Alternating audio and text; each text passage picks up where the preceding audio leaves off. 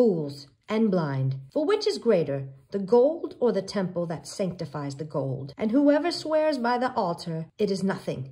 But whoever swears by the gift that is on it, he is obliged to perform it. Fools and blind. For which is greater, the gift or the altar that sanctifies the gift? Therefore, he who swears by the altar swears by it, and by all things on it. He who swears by the temple swears by it, and by him who dwells in it. And he who swears by heaven swears by the throne of God and by him who sits on it. Woe to you, scribes and Pharisees, hypocrites! For you pay tithe of mint and anise and cumin, and have neglected the weightier matters of the law, justice and mercy and faith. These you ought to have done without leaving the others undone.